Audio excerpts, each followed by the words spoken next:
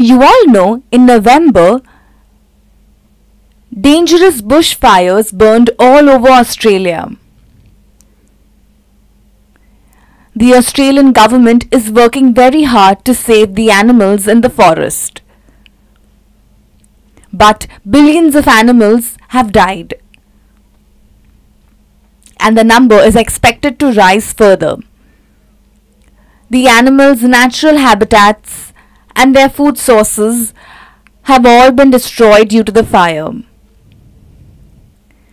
New South Wales is the worst affected in the Australian bushfires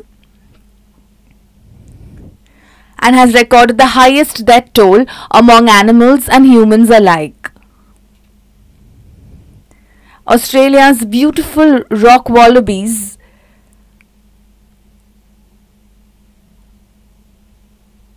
are an endangered species. Now due to the fires, their numbers have shrunk even more. They mainly feed on grass, root, foliage, barks, and fruits.